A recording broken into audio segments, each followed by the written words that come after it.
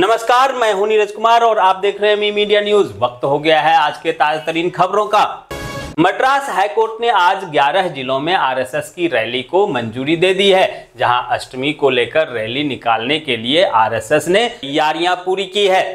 उत्तर प्रदेश की योगी आदित्यनाथ सरकार नवरात्रि के अवसर पर सभी समुदाय तक पहुँच बनाने के लिए आज 1100 लड़कियों के लिए कन्या पूजन का आयोजन कर रही है, जिसमें योगी आदित्यनाथ भी शामिल होंगे।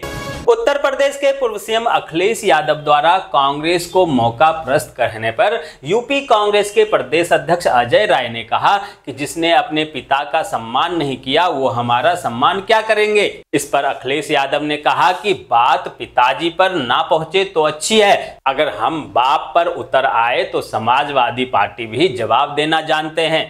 बिहार के सीएम नीतीश कुमार ने एक बार फिर से कहा कि बीजेपी से दोस्ती का सवाल ही नहीं होता। नीतीश कुमार ने तेजस्वी यादव को लेकर कहा कि यह बच्चा हम लोगों के साथ है, हम लोग एक साथ काम कर रहे हैं। पंजाब के पूर्व वित्त मंत्री की जमानत अर्जी पर 23 अक्टूबर को सुनवाई होना है, जहाँ पीसीएस अधिकारी समेत कई लोगों के नाम हैं शामिल। हरियाणा सरकार सालाना अस्सी हज़ार से कम आय वाले अनुसूचित जाति परिवारों को डेढ़ लाख रुपए तक ऋण देने जा रही है। इसके लिए बीपीएस परिवार निगम की वेबसाइट पर जाकर ऋण आवेदन फॉर्म भरकर जिला कार्यालय में जमा कर सकते हैं। दोस्तों, आगे बढ़ने से पहले आपसे रिक्वेस्ट है कि अगर आपने अभी तक इस न्यूज़ को लाइक और कमेंट नहीं किया है तो प्लीज़ प्लीज़ प्लीज़ लाइक और कमेंट कर दीजिए, क्योंकि आपके लाइक और कमेंट का मैं कब से इंतज़ार कर रहा हूँ। और जैसे ही आपके लाइक और कमेंट आते हैं, हमारे खुशियों का ठिकाना नहीं रहता। आज है नवरात्रि की महाअष्टमी पर्व, जिसे लेकर देश भर के मंदिरों में सुबह से ही भक्तों की भारी भीड़ देखने को मिल रही है। वहीं आज महिलाएँ माता की डाली भी भरेंगी। केंद्रीय गृह मंत्री अमित शाह आज मध्य प्रदेश के रीवा पहुँचेंगे, जहाँ वे विधानसभा चुनाव को लेकर पार्टी कार्यकर्ताओं और नेताओं के संग बैठक करेंगे। बता दें कि पिछले विधानसभा चुनाव में भाजपा ने विंध्य क्षेत्र की 30 में से 24 सीटों पर जीत दर्ज की थी। केंद्र की मोदी सरकार के खिलाफ आज कांग्रेस पार्टी निकालेगी प्रतिज्ञा रैली, जहाँ दिल्ली में सड़कों पर उतरेंगे हज़ारों कार्यकर्ता। भारत और न्यूजीलैंड की टीम के बीच आज धर्मशाला क्रिकेट स्टेडियम में मैच खेला जाएगा, जहाँ दोनों ही टीम धर्मशाला पहुँच चुकी है। चक्रवात तेज से बदलेगा मौसम का मिजाज। आज से देश के तीन राज्यों में मध्यम बारिश, तूफ़ान और बर्फबारी की चेतावनी जारी की गई है। हिमाचल प्रदेश कांग्रेस अध्यक्ष प्रतिभा सिंह आज मंडी के दौरे पर रहेंगी, जहाँ वे विभिन्न कार्यकर्ताओं के सम्मेलन में शिरकत करेंगी और जिला स्तरीय सांस्कृतिक कार्यक्रम के समापन समारोह में भी भाग लेंगी।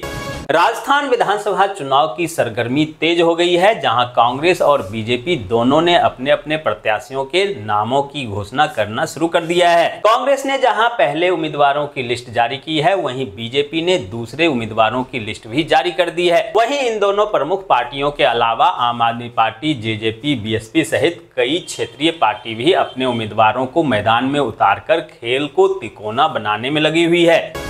जिलाधिकारी कृतिका ज्योत्सा और पुलिस अधीक्षक सोमेन वर्मा द्वारा तहसील कादीपुर क्षेत्र अंतर्गत आगामी विजयादशमी के उपलक्ष्य में जय धर्म मंगल पांडे बाबा मेला विकास खंड मोतीगढ़पुर की तैयारियों के संबंध में निरीक्षण किया गया और अधिकारियों को उचित निर्देश दिए गए। कालीबाज प्रधानाध्यापक शशि बाला को सुल्तानपुर जिला बेसिक शिक्षा अधिकारी ने किया निलंबित। सोशल मीडिया पर टीचर का बाल खींचते और शिक्षक अनुदेशक पर चप्पल उठाते वीडियो हुआ था वायरल।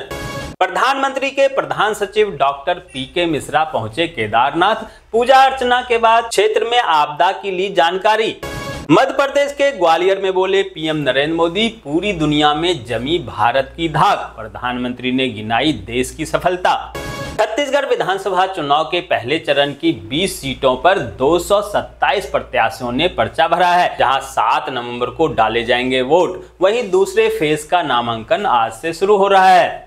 जम्मू कश्मीर पुलिस में बड़ा फेरबदल देखा गया, जहाँ डॉक्टर विनोद कुमार को जिला जम्मू का एसएसपी बनाया गया है। वहीं जितेंद्र सिंह को मिली है जिला उधमपुर पुलिस की ज़िम्मेदारी, जबकि आईपीएस अधिकारी आशीष कुमार मिश्रा को श्रीनगर पुलिस में एसएसपी पहले ही बना दिया गया था। पुणे से दिल्ली आ रही एक फ़्लाइट में यात्री बैग में बम होने का दावा करने के बाद पुणे दिल्ली फ़्लाइट की इमरजेंसी लैंडिंग हुई, जहाँ जाँच के बाद फ़्लाइट दिल्ली के लिए रवाना की गई। गुजरात में नवरात्रि के मौके पर गरबा खेलने के दौरान बीते 24 घंटे में 10 लोगों की मौत हो गई है, जहाँ ताज़ा मामला कपरवंज का है। दोस्तों, मैं देख पा रहा हूँ कि आप में से अधिकांश लोगों ने न्यूज़ को लाइक किया है और कमेंट भी किया है, लेकिन अभी भी कुछ लोग बाकी हैं जिन्होंने न्यूज़ को लाइक और कमेंट नहीं किया है। उनसे भी आग्रह है कि प्लीज़ प्लीज़ प्लीज़ वे भी न्यूज़ को लाइक कर दें, कमेंट कर दें और साथ में शेयर भी कर दें।